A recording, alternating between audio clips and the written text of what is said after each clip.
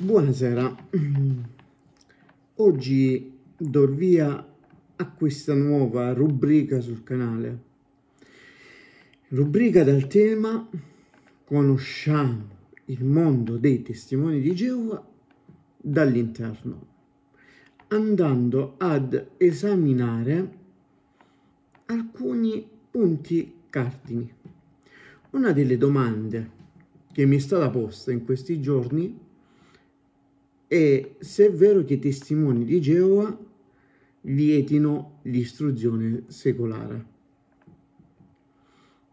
No, i testimoni di Geova non vietano l'istruzione secolare, ma inducono a fare in modo che uno non la persegua. Cioè, esplicitamente testimoni di Geova non dicono tu non devi studiare, ma in maniera indiretta l'organizzazione dei testimoni di Geova ti induce a non andare avanti negli studi. Per fare questo, per dimostrare quello che sto dicendo, esaminerò insieme a voi ciò i consigli che loro danno all'interno della loro organizzazione.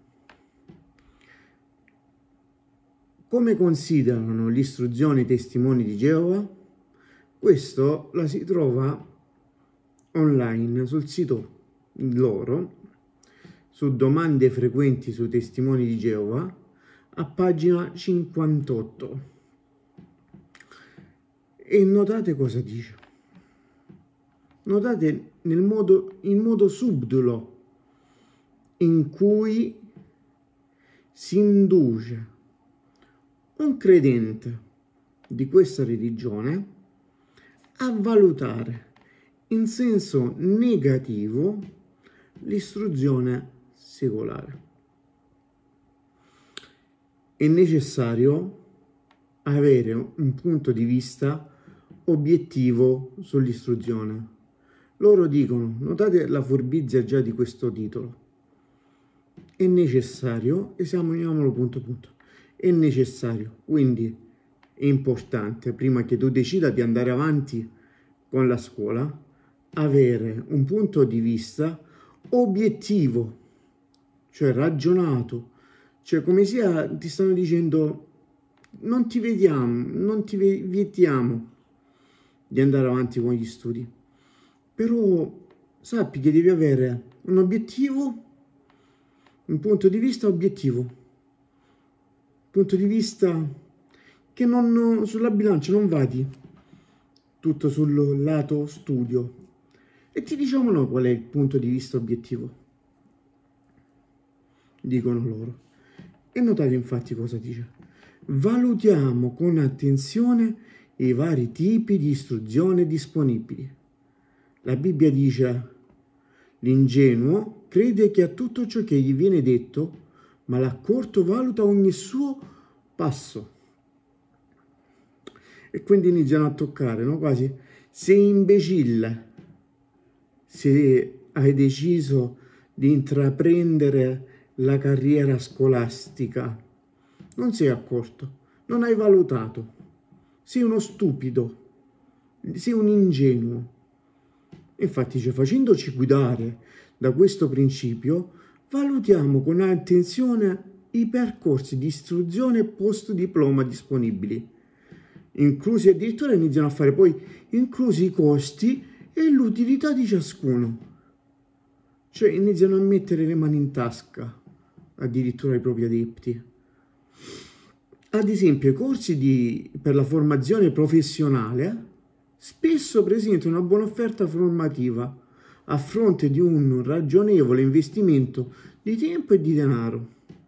Se tu sei bravo con la scuola, fregatene, fatti a fare un corso professionale, trovati una professione. Magari puoi diventare avvocato o puoi andare in università, no, vatti a fare un corso professionale, perché è più ragionevole. L'istruzione spirituale ha un'importanza maggiore rispetto a quella scolastica. Ripeto, loro insegnano che l'istruzione spirituale ha un'importanza maggiore rispetto a quella scolastica. La teocrazia è più importante per loro. A differenza dell'istruzione scolastica, l'istruzione spirituale basata sulla Bibbia permette di conoscere Dio e questa conoscenza ha il potere di salvare la vita. Zagnete. Oh, e tu andai avanti con la scuola, ti allontani da Dio, non puoi conoscere Dio. L'istruzione scolastica ti allontana da Dio. Soltanto quella spirituale, quella che offriamo noi, ti garantisce la salvezza. Apro la parentesi e leggo quello che dicono dopo.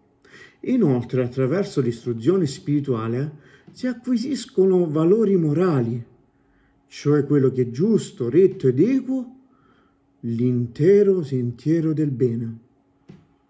Come se a scuola non si acquisiscono valori morali, come se a scuola invece i valori morali vengono meno e questo lo vedremo più avanti. Lo vedremo. Infatti, il paragrafo subito dopo ha come titolo Possibili pericoli sul piano morale e spirituale dell'istruzione universitaria. Ripeto, possibili pericoli sul piano morale e spirituale dell'istruzione universitaria. Un proverbio biblico dice l'accorto vede il pericolo e si nasconde. Ancora una volta, vedi che qui dicono, vedi che quindi noi ti stiamo dicendo che c'è un pericolo se vai all'università. Se ti nascondi, se scappi da questo pericolo, sei una persona intelligente, se non lo fai e vai all'università, sei un deficiente. È sottointeso in questo paragrafo. I testimoni di Geova ritengono che l'ambiente di alcune università o di istituti simili nasconda pericoli sul piano morale e spirituale. Per questo motivo molti di loro decidono di non esporre se stessi o i propri figli a un ambiente di questo tipo, dove tra l'altro vengono spesso promosse idee errate come quelle che seguono. E quali sarebbero queste idee errate che si, per, si ricevono all'università? Idea errata. I soldi garantiscono un futuro felice e stabile. Infatti, non abbiamo bisogno dei soldi. Spesso si pensa che un'istruzione universitaria garantisca un lavoro ben retribuito. Quindi sempre più studenti frequentano l'UV università principalmente con lo scopo o l'obiettivo di arricchirsi. Alcuni sperano di assicurarsi un futuro felice e stabile grazie al denaro. Pensare questo è errato, eh? Quindi cercarsi di costruire una posizione favorevole all'interno della società, di garantirsi un futuro per i testimoni di Geova è sbagliato, è un'idea errata. Infatti, di nuovo il punto 2, idea errata. Si dovrebbe aspirare al prestigio o alla posizione elevata che l'istruzione universitaria può garantire. Questa è un'idea errata. A proposito di un'idea diffusa nel suo paese, Nika G. Lauri un ex primo ministro georgiano ha scritto, notate questi qui poi estrapolano le frasi, avere una laurea è considerato uno status simbolo, quasi obbligatorio in Georgia. Nel passato, un giovane che non si laureava era una disgrazia per la sua famiglia.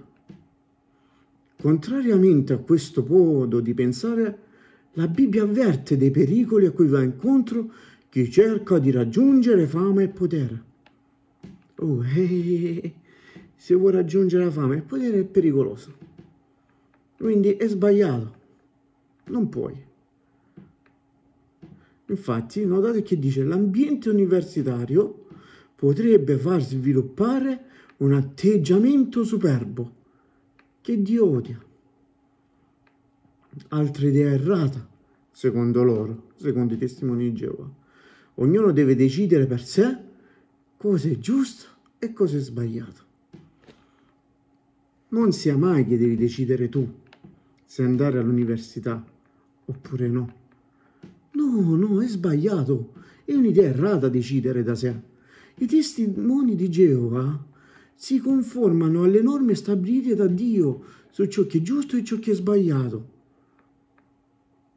Stando però a un articolo pubblicato da Journal,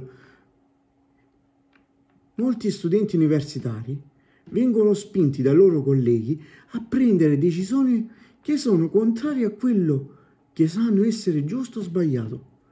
Questa dichiarazione trova conferma nel principio biblico che dice le cattive compagnie corrompono le utili abitudini. Spesso nell'ambiente universitario sono comuni e vengono perfino incoraggiati comportamenti che Dio disapprova. Notate come vanno, notate. E qui voglio farvi vedere come dipingono l'università i testimoni di Geova. Per loro l'università è un luogo in cui ti ritrovi per ubriacarti, fare uso di droghe e fare sesso tra persone non sposate. Lo dice pagina 58 dell'articolo che trovate sul loro sito domande frequenti sui testimoni di Geova. Lo dicono loro.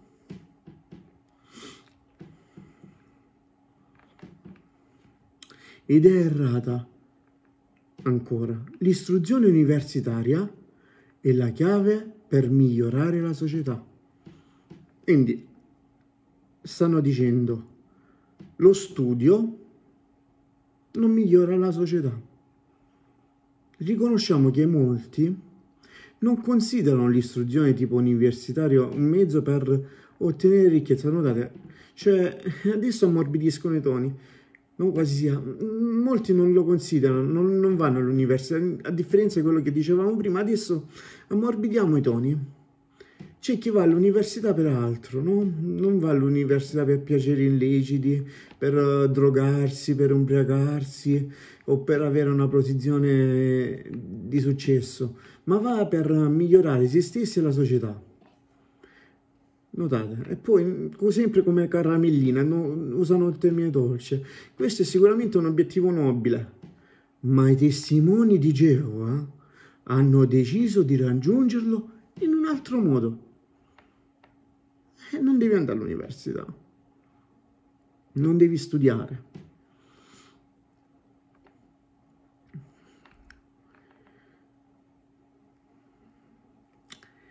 Notate in che modo vogliono raggiungere una società migliore. Seguendo l'esempio che ci ha lasciato Gesù e parliamo, notate subito, della buona notizia del regno in tutta la terra aiutata, aiutando così centinaia, migliaia di persone ogni anno a cambiare la loro vita in meglio. In questa disamina di 13 minuti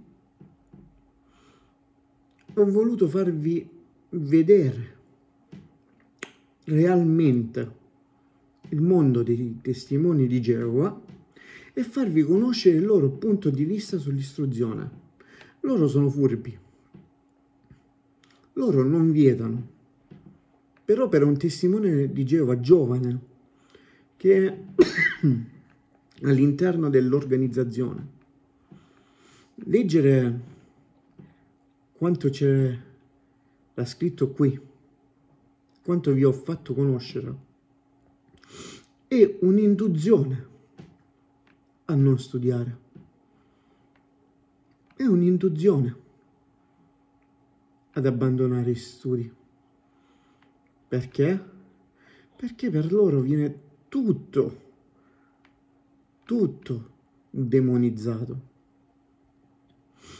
tutto demonizzato. Cioè, basta vedere che considerano l'università un luogo di ritrovo di tossicodipendenti, di ubriachi, di orge addirittura e si vede il concetto errato che hanno sui studi concetto errato che poi viene trasmesso alle famiglie e quando un genitore sente che magari il proprio figlio vuole intraprendere una carriera universitaria, un genitore testimone di Geova, il bastone tra le ruote. Perché? Perché ricevendo quelle informazioni inizia a preoccuparsi dal fatto che il figlio si allontanerà dall'organizzazione. Il fatto che il figlio si allontana dall'organizzazione, che succede? Che se il figlio è battezzato poi viene disassociato e quindi a quel punto bisogna tagliare i rapporti e quindi inizia una crisi di panico per il genitore che sente che il figlio vuole intraprendere una cultura universitaria. Questo è il punto di vista che hanno i testimoni di Geova sull'organizzazione. I testimoni di Geova scoraggiano la cultura, scoraggiano i studi. Questa è la prima parte di questo video, di questa rubrica. Conosciamo il mondo dei testimoni di Geova. Vi farò vedere altri punti, altri punti, altri eh, aspetti di questa organizzazione. Ciao a tutti e se il video vi è piaciuto vi invito a lasciare un commento, un like e a condividerlo eh, sulle vostre pagine. Ci vediamo presto.